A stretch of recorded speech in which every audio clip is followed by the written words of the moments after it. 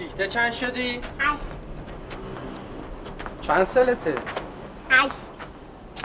من هم سنته بودم ده دوازده سالم بود. علی مهمون درمون اومده.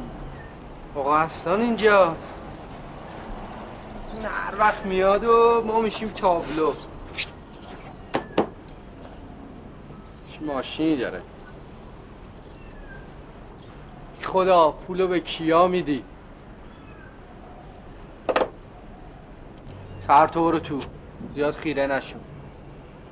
برو تو.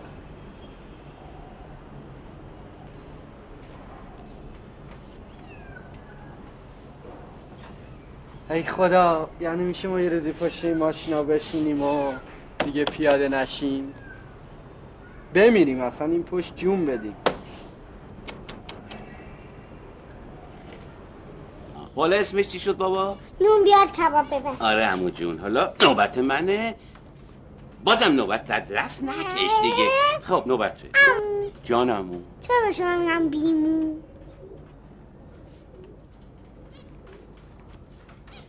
من عموی تو نیستم آبت گفته باشم.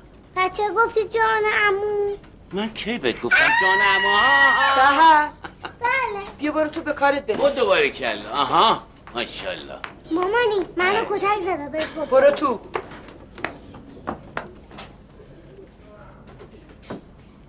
نرگس مادر پس چی شد؟ مامان این مشخصاتی که این آقا میگه اصلا با بابا جور در نمیاد. اه. میگم نکن آقا ماشاءالله رفته اونجا تغییر قیافه داده. آخه الان مد شده. هزاری هم تغییر قیافه داده باشه دیگه خودشو نمی‌تونه پیرمرد هفتاد ساله بکنه که. آفرین. آدما تغییر قیافه میدن که جوون شن نه اینکه پیر شن آره. آقای میگه چهار تا دندون جلوش تلاس ماش بلند دو مسری می‌کنه با اسام را میره. آخه من نمی‌فهمی کجا شبیه بابای منه؟ اه. ای با آره.